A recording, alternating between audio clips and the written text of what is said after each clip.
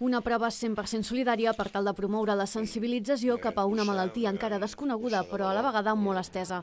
La cursa Herois per l'Alzheimer vol batre rècords després d'una primera edició carregada d'èxits. Enguany es vol superar els més de 16.000 euros recaptats l'any passat i arribar a 1.700 participants, xifra on es tancaran les inscripcions per motiu d'aforament. Que Reus al centre formi part també d'aquesta festa i que aquesta segona edició sigui un èxit. Sí vull dir que tanquem inscripcions a 1.700, estem ara molt per damunt de l'any passat, estem pràcticament ja en 400 persones inscrites, queda moltíssim, l'any passat no havíem arribat al 100, amb la qual jo crec que aquest any, si l'any passat vam tancar a falta de 10 dies, aquest any tancarem aviat, així que des d'aquí una crida que qui vulgui participar a la festa que s'animi perquè a 1.700 hem de tancar.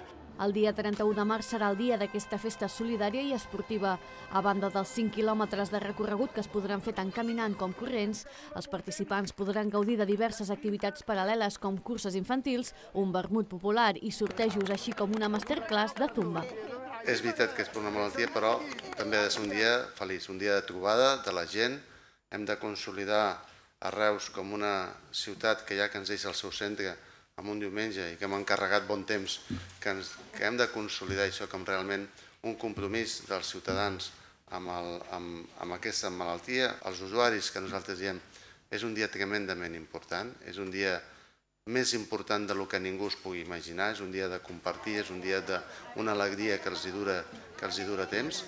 A banda de la recaptació dels participants a la cursa, tothom qui ho vulgui també podrà col·laborar amb el dorsal zero que dona accés al sorteig i a la vermutada. Tots els diners recollits aniran íntegrament destinats a l'Associació d'Alzheimer Reus i Baixcamp, una entitat dedicada a desenvolupar activitats dirigides als efectes d'aquesta malaltia i al recolzament a familiars dels usuaris.